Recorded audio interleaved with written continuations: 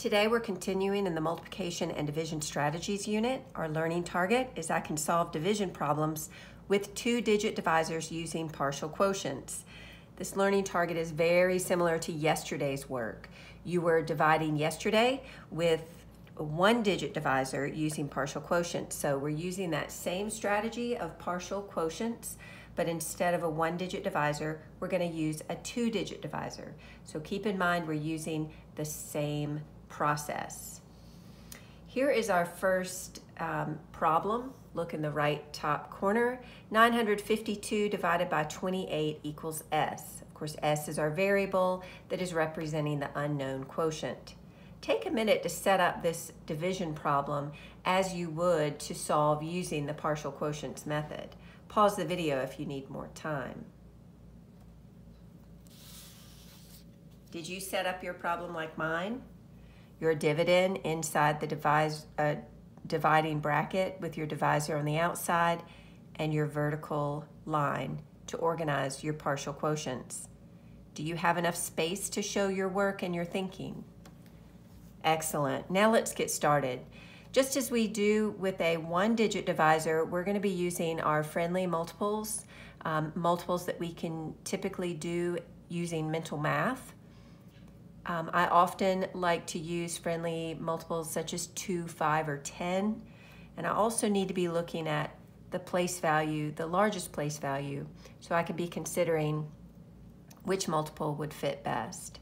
So looking at 952, I see it's in the hundreds. I know that 28 times 10 is 280. So I know I can do at least 10 groups of 28 in 952. So I can go ahead and put my 10 out with my partial quotients and subtract 280.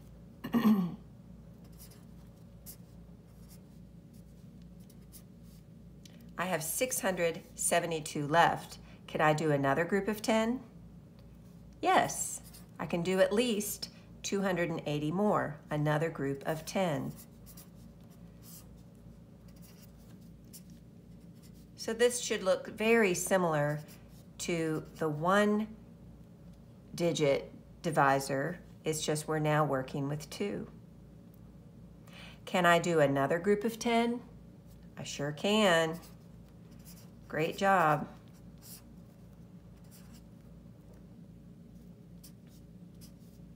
I have 112 left over. How many more groups can I do? Not another 10. I'm going to use friendly numbers that I know. I'm going to do 28 times 2. That's one I typically like. 8 times 2 is 16. 2 times 20 is 40. So 56. I can at least do two groups of 28.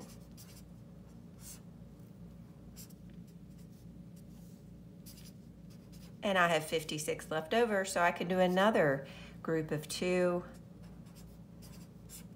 and now I've divided 952 evenly into groups of 28. So how many are in each group?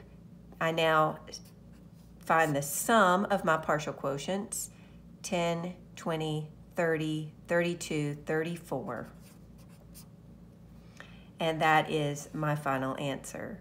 So very similar process with partial products. We're just using the two digit number. Again, look for think of uh, multiples of 10 perhaps. Um, those are friendlier or two, maybe even multiples of five. So be thinking of your multiplication facts. Let's do another one. Here's one with a two digit divisor, but we have a four digit dividend. So take a minute, pause the video if you need, and set up your problem to show what this would look like to solve for partial products.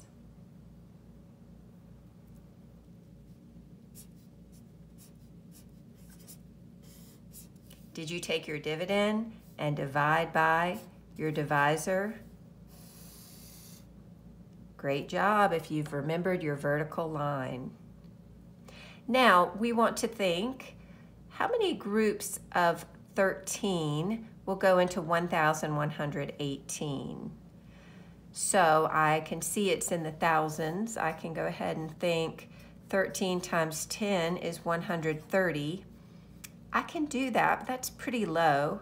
Let's see if I do 13 times 100 is 1300, which is too high. I may want to consider times 2. 13 times 2 is 6 and 20, so 26. So 13 times 20 would be 260. And I would say we could have at least 20. I could consider 13 times 3 because I know that is 39. Again, a multiple that I could solve pretty easily for myself. So consider what works for you as a mathematician. 13 times 30 would be 390. So I'm going to use this higher multiple because I can see that it will go to, into it at least 30 times. So I'm going to subtract 390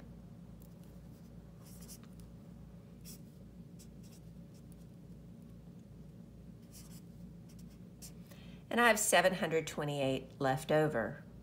Can I do another group of 30? I sure can.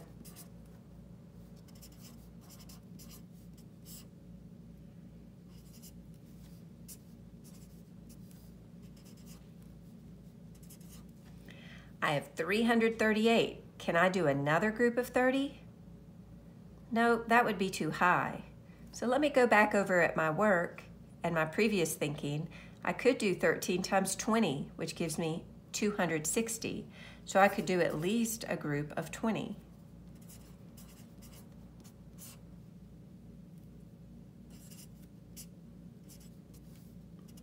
And I have 78. I can go back to 13 times 3, and I know there's at least three groups in 78. So I could subtract out 39. That gives me 39 again, so I can group that into three more equal groups.